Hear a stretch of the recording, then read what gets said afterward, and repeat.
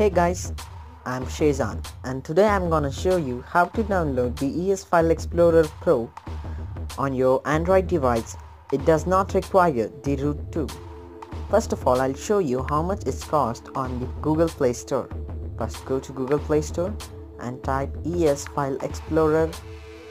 Go to ES File Explorer Pro and you can see here it's cost around 199 rupees it's around 200 so I'll, today I'll show you how to download it for free.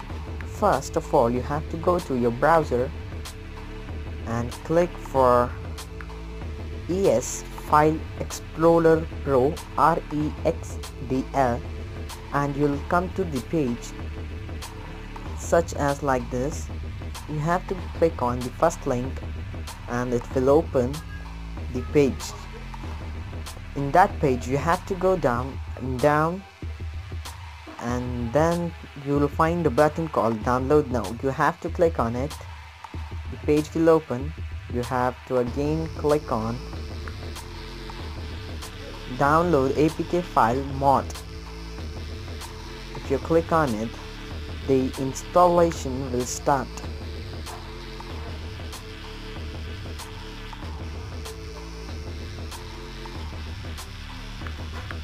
after the installation you have to install it on your device.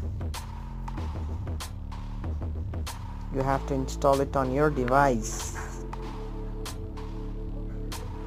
As it's downloading wait for some time.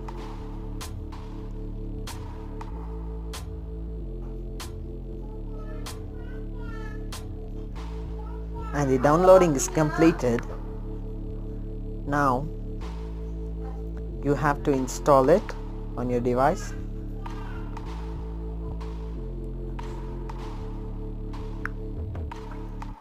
And now you can see the ES File Explorer Pro is downloaded downloaded and installed on your device. So you have to click open